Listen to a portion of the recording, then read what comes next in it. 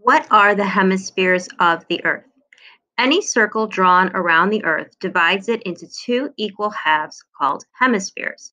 There are generally considered to be four hemispheres northern, southern, eastern, and western. The equator, or line of zero degrees latitude, divides the Earth into the northern and southern hemispheres.